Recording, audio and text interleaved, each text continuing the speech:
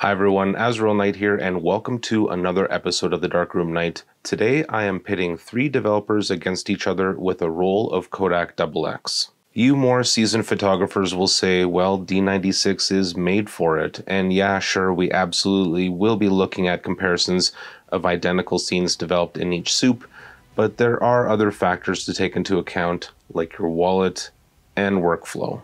Ultimately, today we will discover which is the best developer for Kodak XX.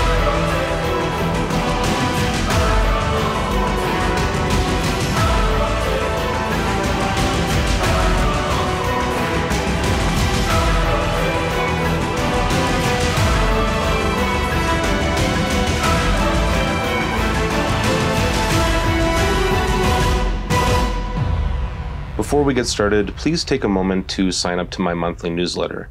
The link is in the description. I'm having a draw on May 1st for one of my 2020 Darkroom box sets, which contains seven of my favorite photos taken from last year. Okay, first thing that we need to take into account, I think, is your wallet. If it's too expensive for you, then the other points are pretty pointless. Now, of course, prices are not concrete and you'll be able to find better deals the more you shop around. So these numbers are not absolute, but they should give us a ballpark of the cost per roll. For Kodak D76 and D96, I will be using the price available at the Film Experience camera store in Longview, Alberta, and for Rodinal, I'll be using Blazinal, available here in Calgary at the camera store. To make a gallon or 3.8 liters of Kodak D76, it's going to set you back about 13 Canadian dollars. To make a liter of D96, that will be about $10. And Rodinal works a little bit differently. It's a one shot, but 500 milliliters is 24.87. Now, how many rolls of 35 millimeter film can you develop with each of these? Each of them have different ratios of stock to working solution, and we'll take a look at the most common dilutions. Kodak D76, after mixing, can be poured straight or mixed one to one with water. There are more dilute measurements you can make for sure, um, but that will add to your developing time and change how your image will turn out. For today's example, we'll just talk about stock solution or one-to-one dilution. Assuming you develop one 35mm roll at a time, that is either 12 rolls of film or with one-to-one, it's 25 rolls. If you really want to stretch it and decide to only develop 35mm rolls in pairs at one-to-one, you can develop 30 rolls of film. This means it will cost you between 43 cents and $1.08 per roll of 35mm film to develop. The disadvantage here is that once you initially mix the powder, it has about a three month shelf life. So to get the most out of a batch, you need to develop 10 rolls of film per month. Next up is Rodinal. The most common dilutions are 1 plus 25 and 1 plus 50. This is a high concentrate developer that is in liquid form when you buy it. To develop a 35 millimeter roll, uh, one at a time, you're going to need uh, 11.5 milliliters for a 1 plus 25 solution or 5.9 milliliters for 1 plus 50. That's 43 or 84 rolls respectively. Developing in pairs will give you 52 and 102 rolls for 1 plus 25 and 1 plus 50 dilutions in a 500 milliliter Paterson tank. How that translates into cost per roll is 24 cents to 58 cents a roll. The advantage here is that it has a longer shelf life and it doesn't need to be prepared until you're ready to develop and can be mixed a little at a time. While I have found Rodinal tends to crystallize around the mouth of the bottle, I haven't seen any adverse effects from that. Last one on the list here is D96. The D96 kit I have is 1 liter for $10. It's a powder like D76, so once you've mixed it up, it has a shelf life which I assume is similar to the other powder developers at about 3 months. The difference here is that it's a motion picture developer made for films like Double X, which is a motion picture film. D96 is the most expensive on the list at 3 rolls of 35mm per pack, or 4 if you double up in a 500ml tank. While there is no official developing time for using D96 in a 1 plus 1 solution, it is possible to get good results, and that will stretch your number of rolls to 6 in a 300ml tank, or 8 if you double up in a 500ml tank. This makes the cost per roll $1.25 to $3.33 per roll. Now let's talk a bit about developing times. Kodak D76 and D96 both have a developing time of 7 minutes, but D96 is recommended at 21 Celsius instead of the normal 20 Celsius you see with most films. Finally, Rodinal 1 plus 25 has the quickest time of 5 minutes 45 seconds at 20 Celsius. So at the end of this video, if you decide that the differences are not significant in image quality, the takeaway here is Rodinal is by far the cheapest and fastest means to a developed image for double X and other films. Now on to the comparisons. To create this comparison, I took an image of my city skyline. I shot the entire roll as fast as possible to minimize any changes in lighting. I took a series of exposures metered properly, doing a spot meter off the buildings.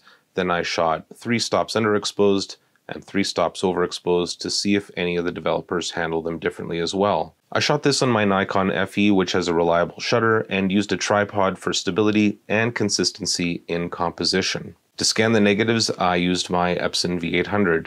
The scans you see are straight scans with no edits applied, but the software is still going to make a guess at levels, so I've also provided the histograms, which we'll go over. First comparison here are the three images side by side. You may notice that the Rodinal sample is super noisy compared to the others.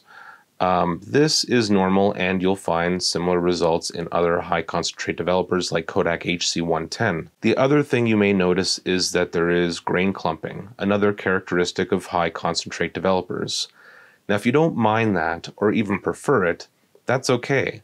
If not, then the real contest is between D76 and D96. There is much smoother grain and an overall flatter image with the other two. The major difference here is that Kodak D76 has more recovery in the highlights and slightly darker midtones, but you really have to look at the buildings to see it. To get a better idea of the differences, we need to look at the histograms. You can see it's still pretty close until we color code them and overlap. Blue is D76, and red is D96. I think the takeaway here is that the D96 provides greater range of tonality. Here are my final edited versions of both D76 and D96. The difference isn't really all that much to be honest.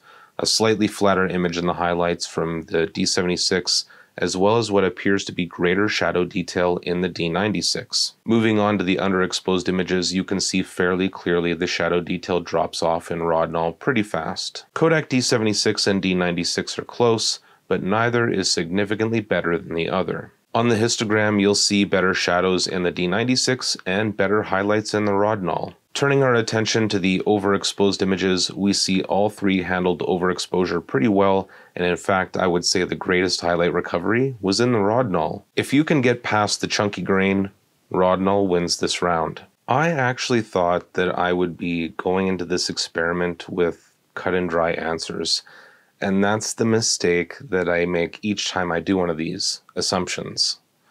The biggest surprise, first of all, is that it seems as though Rodinal handles overexposure better. Now, while D96 is designed for double X, it's very hard to ignore how little of a difference there is between it and D76, fundamentally.